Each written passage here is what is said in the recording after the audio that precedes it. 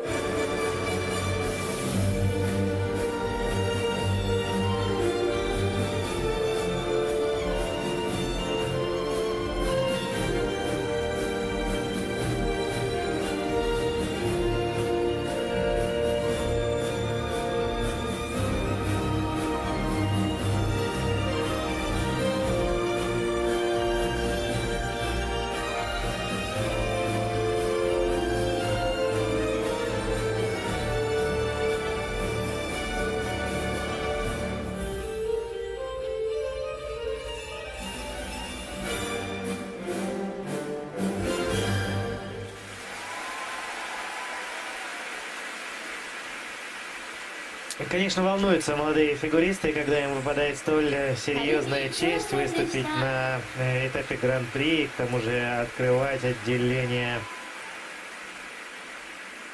показательных выступлений, но в целом смотрится очень достойно. Спортсмены из Японии, и, конечно же, им уже не привыкать выступать при многотысячной аудитории.